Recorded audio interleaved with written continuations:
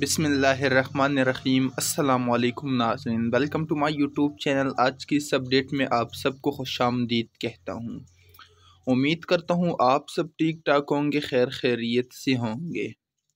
ناظرین، آج آپ کے ساتھ شیئر کرنے والا ہوں۔ آج کا جو ہمارا ٹاپک ہے وہ پروفٹ ریٹ کے حوالے سے ہیں بہبود سیونگ سرٹیفکیٹ کی جتنی بھی کسٹمر ہے، ان کی موجیں لگنے والی ہیں۔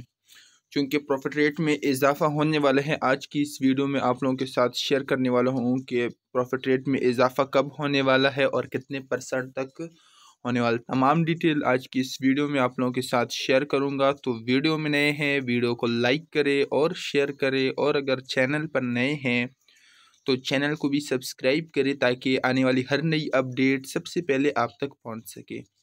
تو چلیے دوستو، ویڈیو کو سٹارٹ کرتے ہیں اور آپ کو تمام ڈیٹیل سے آگاہ کرتا ہوں۔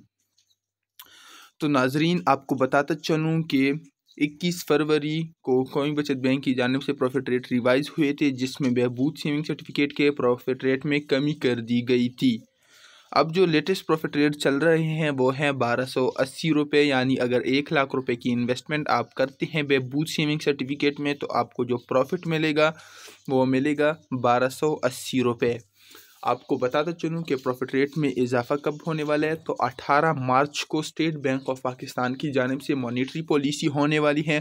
اور اس بار ہو سکتے ہیں کہ مانیٹری پالیسی میں انٹرسٹ ریٹ میں اضافہ کر دیا جائے گا۔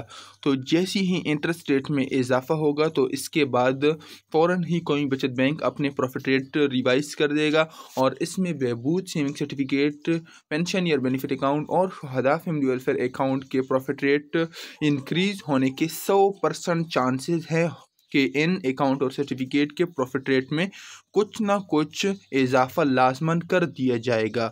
تو دوستو، یہ تھی آج کی نئی اپڈیٹ۔ امید کرتا ہوں ویڈیو آپ سب کو اچھی لگی ہوگی۔ اور مزید اسی طرح کی اچھی ویڈیو دیکھنے کے لیے چینل کو سبسکرائب کرے اور ویڈیو کو اپنے دوستوں کے ساتھ شیئر کرے اور لائک کرے اللہ حافظ۔